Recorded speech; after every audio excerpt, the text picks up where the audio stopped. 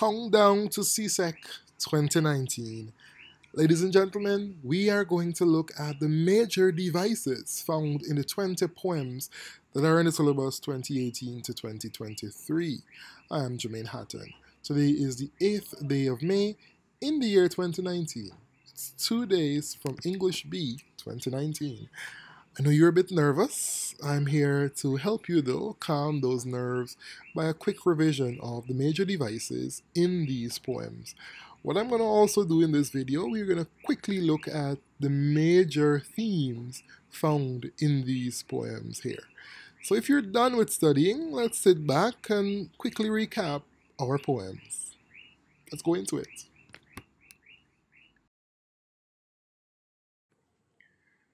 Before we actually get into the video, let me remind you, you're heading to the exams on Friday with the hope of writing three essays. You're answering three questions in the exam in the form of three essays. So you're answering one question in the drama section, that's between, you're choosing between The Tempest by William Shakespeare and Ti-Jean and His Brothers by Derek Walcott. One of those you're answering on. In the poetry section, the section B or the section 2, whatever it is, you are choosing between a question that names the two poems or a question that gives you a theme to compare two poems. And thirdly, in the third section, you are going into prose now. In the prose section, you're answering the question on the short story, or you're answering the question on the book To Kill a Mockingbird, or you're answering a question on Breath, Eyes, Memory. Please read your instructions, just one question per section. Read the instructions, please. And try to spend 40 minutes. Try to spend 40 minutes on each of those questions. That will give you good time to recap your work. Though I'm about to give you a list of the major themes in the major poems, I want to also let you know that any poem any poem in the syllabus can be compared. All you have to do is simply tweak it to answer whatever question you're being asked.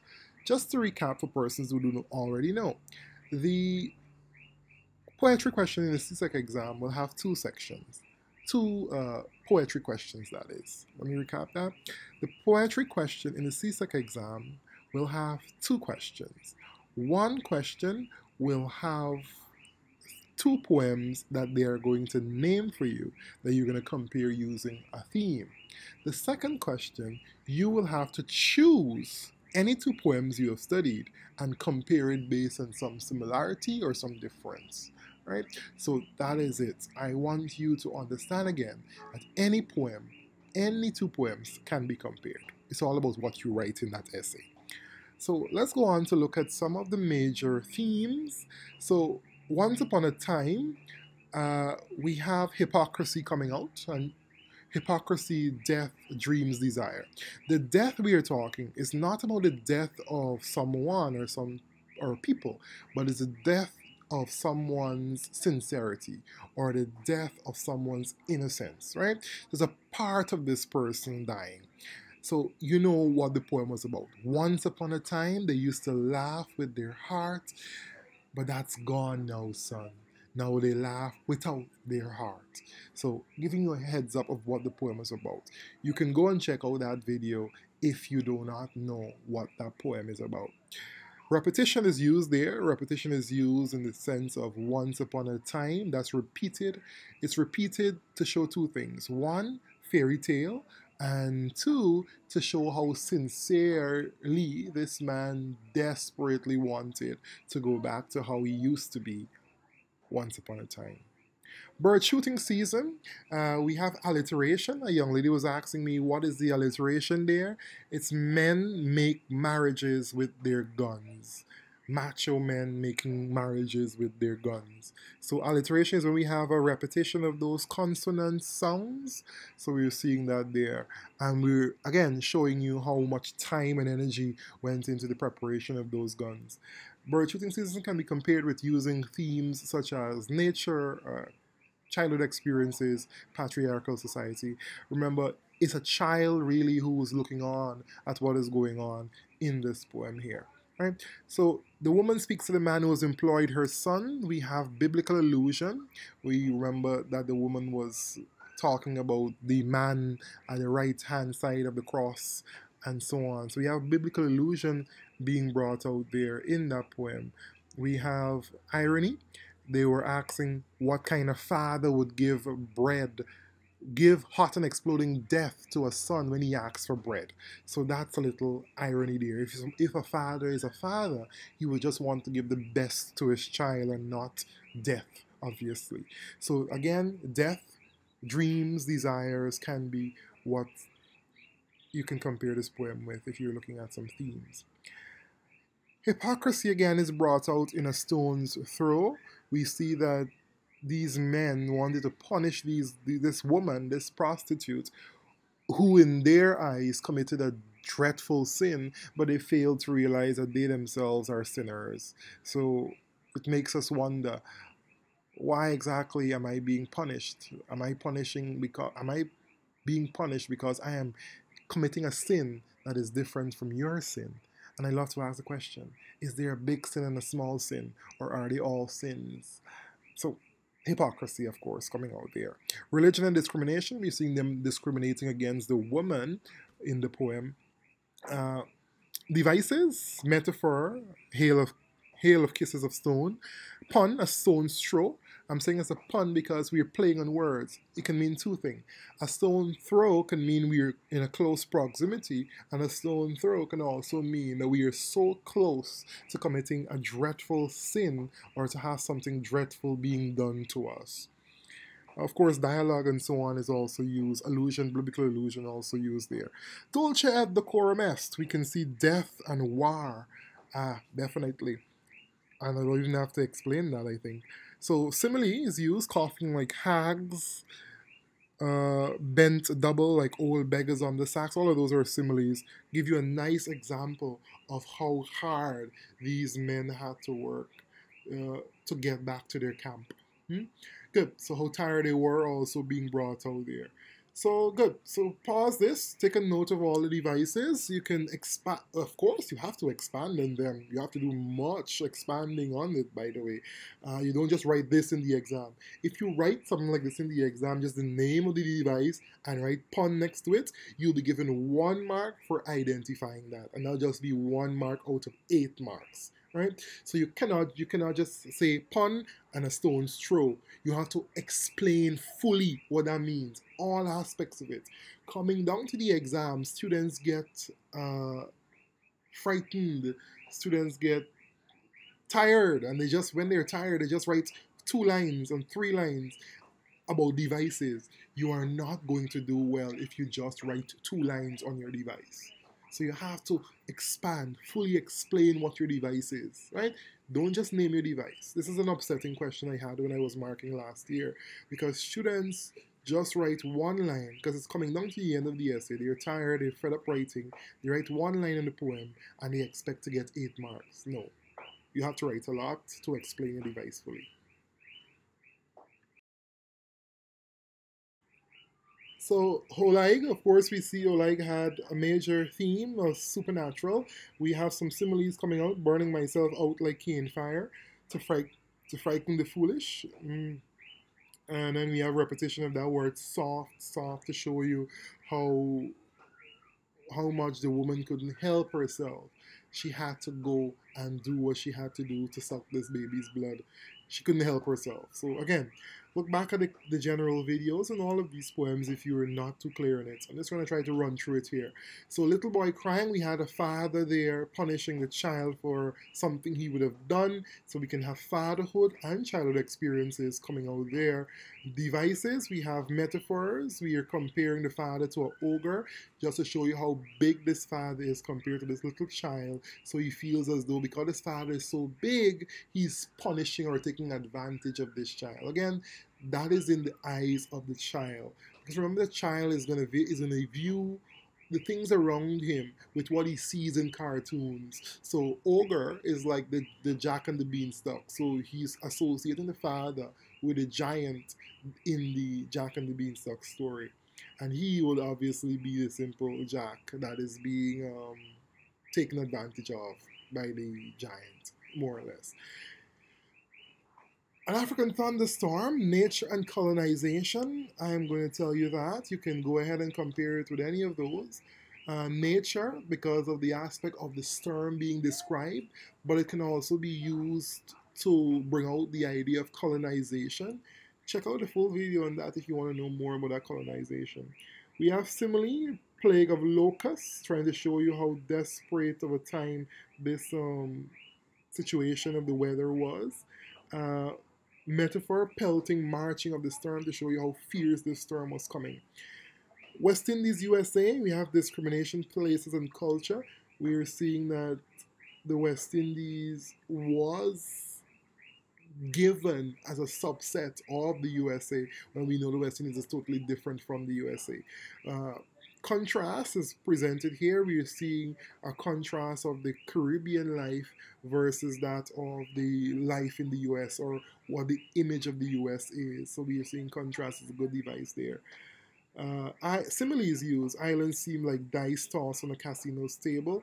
Uh, check that out. Check the full video out there to get a full explanation of that. So another device uses repetition. Stay on the plane, stay on the plane. They're nervous, I can say that. They're nervous that the people on the plane will escape and come into the Americas or into the America, the United States of America, that is. So they're urging them to stay on the plane. You know, like when the plane is in transit, you can't you come out the plane. Well, in this case, the plane is in transit in the U.S., but they can't come out the plane.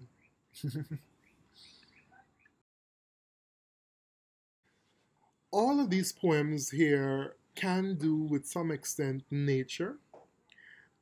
Sonnet composed on Westminster Bridge is showing you man versus nature, places nature as well.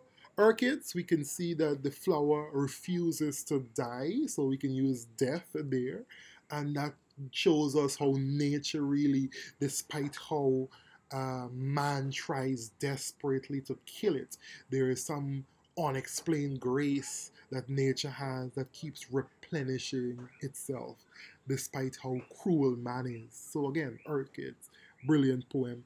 Some of the devices we have in sonnet composed upon Westminster Bridge, we have a beautiful personification. Then we have an alliteration, dull would he be a soul if he could pass by a sight so touching in its majesty. Uh, what else?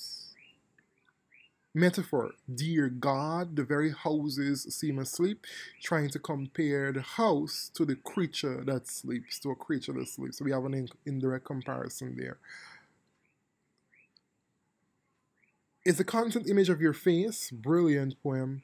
Uh, personification is brought out. We're personifying the land. The man is personifying his country to show you how desperate he, he was in a situation of choosing between a physical woman and a person who we perceive to be a lover, which is the country. Right? So there's a personification. He's personifying the country to be the second woman or the second mistress. So he has to choose between. All right. So metaphor, grave attention, world of knives. Images are of course used, heart's treachery, things of that nature can be some major devices in Dennis Brutus' poem. It's constant image of your face. So check those out.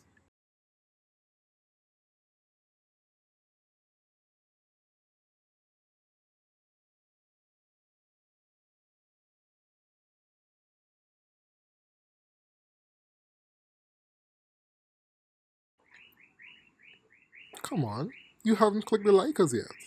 Go down, click like, and then come back and let's continue.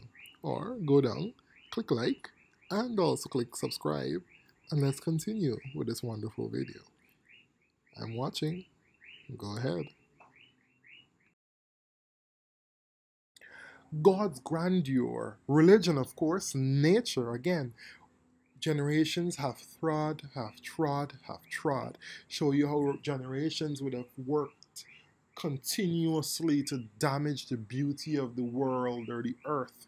But again, it will flame out like shining from shook foil.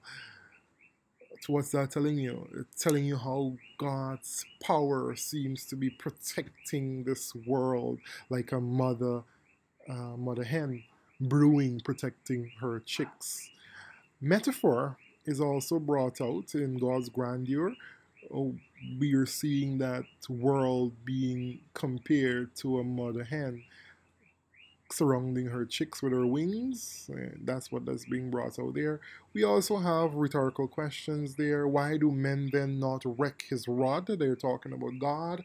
Why are they trying to to make God angry? In in a, in other words, theme for English B, racism is one of those major themes. As in that poem, discrimination. I don't know why my neighbor's children are screaming. Anyway, Racism is a major theme there. Discrimination as well, the same sense. We are seeing a little child, a little, a man rather, not a little child, a man a man who is told to write a page, but he is really questioning whether or not the teacher will be able to understand what he writes because he can't write and explain himself as a black man and expect a white man to possibly understand the life of a black man. That's what he's really talking about there in Theme for English B. Students often confuse Theme for English B and um, Dreaming Black Boy. Remember, Dreaming Black Boy is the boy and theme for English B is the college student, the man who has to write a page, right? So try and recap these poems if you don't know them already. Theme for English B has irony, somewhat free. We, we know that the instructor is immensely more free, but this college student think he's somewhat free because he's still mentally uh, enslaved, thinking that the black man is not as good as he is, who is white. Symbolism. Check that out in the video. I mentioned all of those in the original video. Racism and dreams and desire are two themes that can be used for description of uh, Dreaming Black Boy. Remember, Dreaming Black Boy had that little boy who was longing to be accepted by the teacher in the classroom as well as the people outside in the real world. So we have allusion there being thrown at the KKK. We have metaphor, my inside eye son. We have the repetition, the strong repetition of I wish, I wish how desperately this growing child wanted to be seen, not as a black child, but as any other growing boy that needs love and affection and approval. Parents and childhood experiences can be used to, to look at My Parents by Stephen Spender. We have some simile, uh, true words like stone, muscle like iron, again to show how uh, strong these children were. I don't know why this child is screaming like that. Anyway, this is a dark time, my love, by Martin Carter. Love because remember, this man was writing to this lover, right? War, uh, nature, and patriotism. He's writing again to his lover and to his land. Remember, when this poem was actually written, Guyana, as we know it, was British Guyana then, and they were fighting for independence from the Britain, from the British. So you can understand why I'm saying patriotism is a good theme so looking at some devices, we have personification, personifying death, and also giving human qualities to non-human uh, flowers. The red flowers bend their heads in awful sorrow. Brown beetles being compared to the soldiers, obviously. Oxymoron, Festival of Guns, Carnival of Misery. So those are some of the things you can expand on when you are writing. Sylvia Plath gifted the world with an excellent poem in the sense of mirror, and in this poem we can compare it under the theme aging and feminism. Uh, some of the major devices is metaphor. She when she said that the mirror is a little god, so the mirror is compared to a god in the sense that the mirror is really telling us the truth of what is being seen when we look in the mirror. That's our reflection. So the woman was upset at the fact that the mirror is giving the truth of her appearance that she has aged. Uh, South by Kamau Brathwaite is another poem. Migration is a major theme there. Desires, dreams, patriotism also. We can compare this one to This is the Dark Time I Love, where patriotism was also another device. So we can compare these poems here with any other poem, really. You just have to just talk about what is going on in one stanza compared to what's going on in one poem compared to another poem, whether they're similar or different in what regard.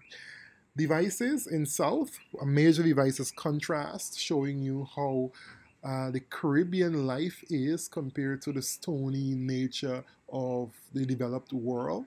So, the free spirited nature of the Caribbean life versus that of isolation in the developed world. So, pause these screens and look at all of what is on them. Read through, make sure everything there is clear to you, and good luck in your exams. I do hope you are learning. I do hope you're confident. I am hoping that you will do well in the exams. Thank you for listening. Goodbye.